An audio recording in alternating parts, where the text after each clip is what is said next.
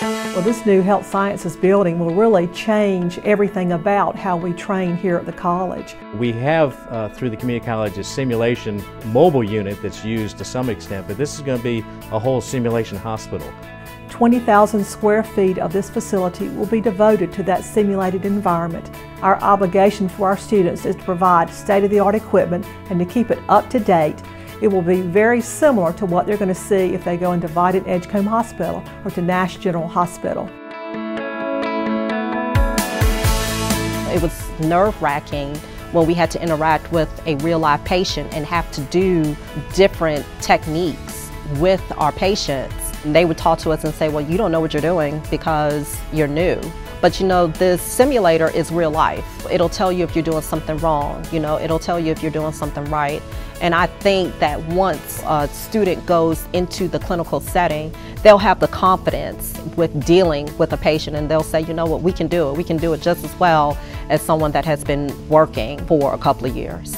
It's state of the art. It, it is, simulation training is the way that across the country, uh, doctors, nurses, uh, clinical staff are being trained these days.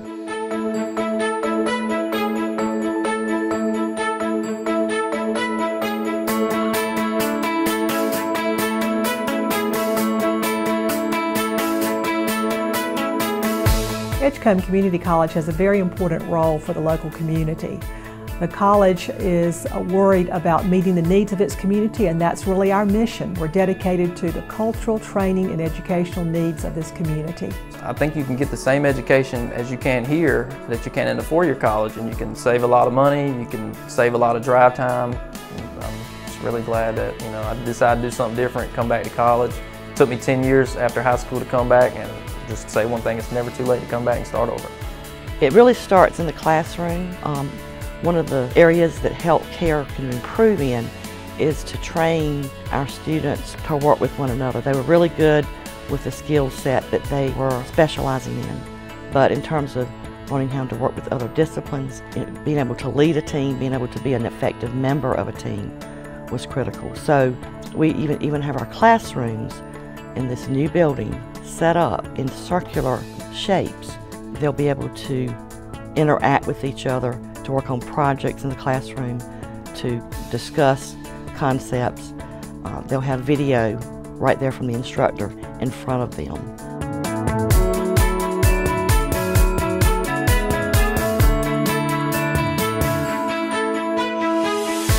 The college has established a legacy campaign Community members may contribute to that legacy campaign. If they contribute anything from $10,000 on down, they will be a part of the Investor Society. $10,000 on up, they would be a part of the naming rights of the facility. People are living longer. The technology is ensuring that they have access to a healthcare provider. They have medications that they need to continue a, a long lifespan. So we believe that healthcare jobs will continue to be important in the future of this state and this nation.